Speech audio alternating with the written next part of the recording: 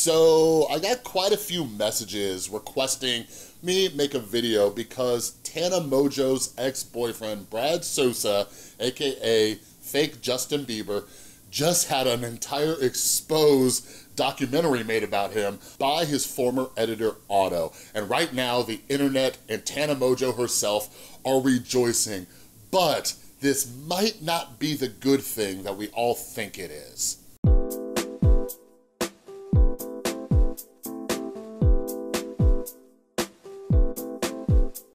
What is up, everybody? This is Chris from The Rewired Soul, where we talk about the problem, but focus on the solution. And if you're new to my channel, what I try to do is take different topics going on in the YouTube community and try to see what lessons we can learn from them. Because, oh my God, if you're watching this and you're not learning from this, ah, oh, you need to do something about that. So if you like to learn lessons about life and all that stuff, make sure you subscribe and ring that notification bell. So anyways, um, before I get started real quick, because we are gonna be talking about cancel culture and your reputation and all that stuff, um, real quick announcement, until the end of the month, for those of you who don't know, my brand new book, Canceled, is available now, and until the end of the month, you can get a free copy of the ebook pinned down in the pinned comment as well as in the description below. All right, I take a deep dive into YouTube cancel culture, my own experience as well as the experience of some others. Tana Mongeau was actually mentioned in the book a few times in some of the situations that she's been in. All right, so anyways, yeah, uh, Brad Sousa's editor, Otto, um, and I guess they were friends too, they, uh, yeah, they parted ways and I first was introduced to Otto like many other people when I saw his last video where he like pretty much stole Brad Sousa's uh, plaque, right? And everybody's like, yeah, get him. So don't get me wrong, Brad Sousa is, mm, he's a D-bag. And I made a couple videos just when Tana was going through that breakup and found out she was cheated on. So if you wanna check that out, like, I, I feel really, really bad from, for Tana. So we're gonna be talking about Tana, but then we're also gonna be talking about the Brad Sousa and Otto situation. So the first thing that we need to talk about and see what we can learn from it, like, even though like I'm not like a massive like Tana Mongeau fan, like I feel for that girl. Like this, this whole video that came out with Otto showing the DMs and everything like that, like I feel bad for her. Like this is something that I think a lot of people who have something to offer have to deal with, right? Like, for example, like we're talking about Tana Mongeau, who has a massive following on YouTube and Instagram, and she's, you know, all this stuff, right? But also for some of you out there, like maybe you come from a rich family, maybe you have something, you right? Like us having to worry about like, is this person only dating me for this? Or are my friends only hanging out with me for that? Like maybe you're the friend who always buys, you know, rounds at the bar or you buy people stuff or whatever it is, right? And we always have to worry about like, are we being used? Does this person actually like me. And it's difficult because trust me, I grew up and I had a lot of trust issues and I've been screwed over many a times. So those trust issues have gotten even worse, but I've had to learn how to manage them because I can't just close myself off and isolate from the world, right? So part of what we need to start doing is just doing our best to be a better judge of character. Like something that Otto talks about in his video is like noticing the red flags, right? Because when you get screwed over, especially if you're cheated on or something like that, it's easy to start thinking that everybody in the world is a bad person. And that is a lie that our brain's telling us. It's a lie that our brain's telling us to try to protect us from being hurt again in the future. But again, it can block us off the, from the rest of the world. So what's helped me immensely is just trying to be a better judge of character. And I still have screwed up in the past. Like my girlfriend makes fun of me because like I am very friendly and if someone's like cool and nice to me, like I open up to them and stuff. So I've been trying to manage that because it's bitten me in the butt in the past, right? So anyways, um, yeah, like the most we can do is just try to heal from it and move forward. In regards to like Tana Mongeau specifically. I have no idea what the hell is going on with her and Jake Paul, right? But that seems like a whole clout chasing situation in and of itself, but it seems like it's mutual rather than the deception that Brad Sousa did. But anyways, the bulk of this video, I wanna talk about the editor, Otto and Brad.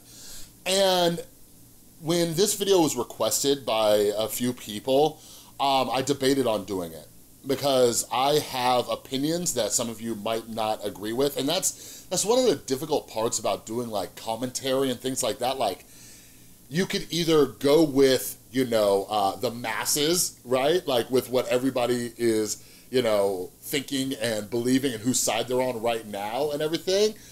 But if you speak kind of what your opinions are and if it goes against that, it might hurt you. But anyways, I really, just before I dive into that, I want you all to think, like, all of the adults out there who have ever had any type of job in your life, before I move forward, I just want you to ask yourself one question. Would you ever get away with what Otto just did to Brad Sousa. Now, don't get me wrong. Don't get me wrong. Brad Sousa is not a good dude. But when we when we have this this thirst for revenge, it can make us do things that hurt us as well. Like let's just kind of run down the list real quick. First off, Otto took Brad Sousa's plaque, right? Because Otto feels that he didn't deserve it and stuff. And like, that is all subjective. But if we look at this as adults, like, that is theft, okay? The other thing that I was looking at was just like, kind of the immaturity of the video, and I know the audience is just loving it and eating it up. Like, I got some chuckles in there too. Otto is a funny dude, but from a professional standpoint, I'm like, ugh, this might not be a good look. Because here's the thing, like what I was thinking most of the time while watching that video, because Otto was talking about how Brad Sousa is probably not gonna be able to, you know, work with any major brands or anything like that again in the future, partially because of this huge exposed video that he just made on Brad.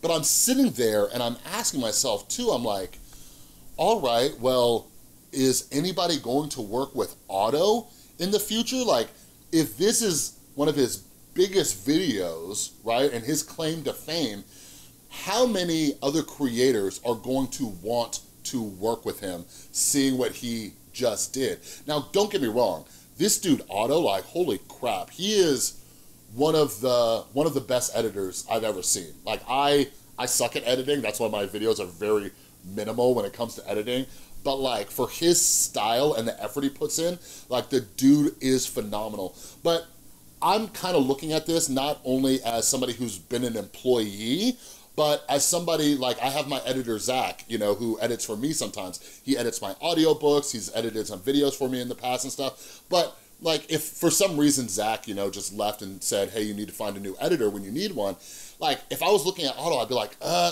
would I wanna work with this guy, right? So when all of you are watching this, like even though everybody's getting some yucks in and laughing, you know, at the expense of Brad Sousa, like ask yourself if you would be able to get away with what Otto just did because I'm thinking about Otto in the future and what issues he may run into. So something that he brings up is Gary Vaynerchuk's book, Jab, Jab, Jab, Right Hook. And some of you know me, like I am a huge fan of Gary Vaynerchuk. I got to speak with him last year at uh, Vid Summit and everything like that. I love that dude. So like Otto explains, jab, jab, jab, right hook, it's keep providing value and then ask, right? Like provide so much value that you, you know, you're not just trying to get something from the other person. And something that's like, this kind of, uh, you know, there's some debate around it, is like working for free. So when I look at Otto's situation, he he brings up multiple times that he offered to work for Brad for free, right? But when things went sideways and Otto felt, you know, entitled to some compensation and everything, um, I get what he's saying about the, the, um, the music that he used and that account. Like, I do think he should be reimbursed for that.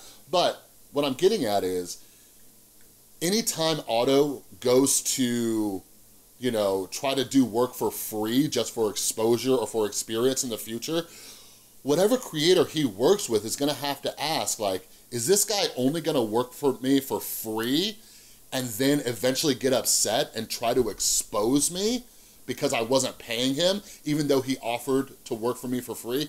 And this is something like, I don't think Otto's a bad dude. Like the fact, like he seems like he is somebody on this path to try to improve himself and I, I love that. I love when anybody does that. It's something that I'm trying to do all the time as well. Like I am not a perfect person, but like I say, like I always watch these videos and I try to learn from them, right? But when I'm watching Otto, like since I'm, you know, I, I, I watch a lot of Gary Vaynerchuk, I've read all of his books and everything like that, sometimes I feel, and this is just my opinion, that people kind of take they kind of cherry pick certain advice from Gary Vaynerchuk. Like, when I was watching Otto's video and then when I saw that he's a fan of Gary Vee, I'm like, would Otto think that Gary Vaynerchuk would endorse this idea to expose Brad Sousa and, and do this? Like the answer probably is no. And this is something that I ask myself, like we all should have mentors in our life, but some of them, you know, some of us have mentors like Gary Vee. Like I don't talk to Gary Vee. I met him at Vid Summit I got to ask him a question during his Q&A. That was it, right? But sometimes I have to sit back and ask myself and say, what would this person do in this situation? You see what I mean? But the other thing is too, with everything that Otto just exposed and leaked, like private DMs and all these other things, anybody who considers working with Otto in the future is gonna have to ask themselves, is this guy going to leak private information if I upset him, right? And nobody wants to enter in a relationship where you already feel like you're being held hostage. And again, Otto's editing skills are insanely good, but is it worth the risk that if you potentially piss this guy off, he's going to release a bunch of private information.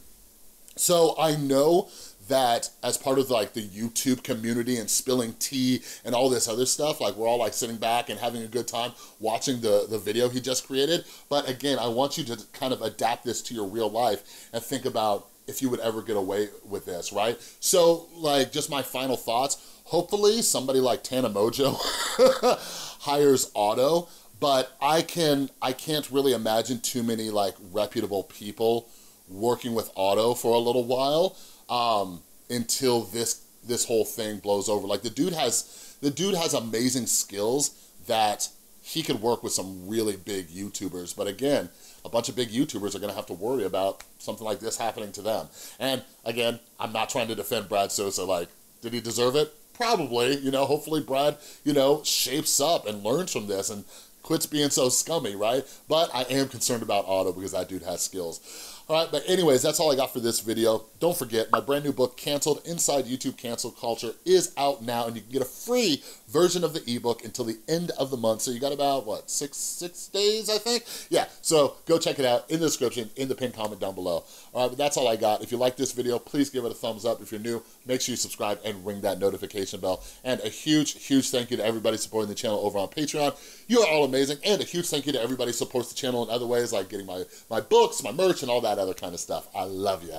All right, thanks again for watching. I'll see you next time.